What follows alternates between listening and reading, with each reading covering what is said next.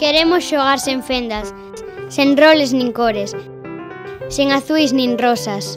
Sen límites para ser libres, sen límites para ser iguais. A fenda entre homes e mulleres no mundo da ciencia e da tecnoloxía comeza nos primeiros xogos. Evitalo e garantir un futuro igualitario e xusto. Xogar sen fendas e crear futuro. Campaña de adquisición e uso de xogos e xoguetes non sexistas e non violentos. Deputación de Pontevedra, unha nova deputación.